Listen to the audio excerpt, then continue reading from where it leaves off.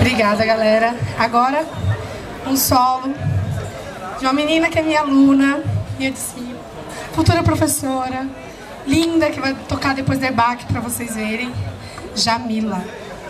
Linda!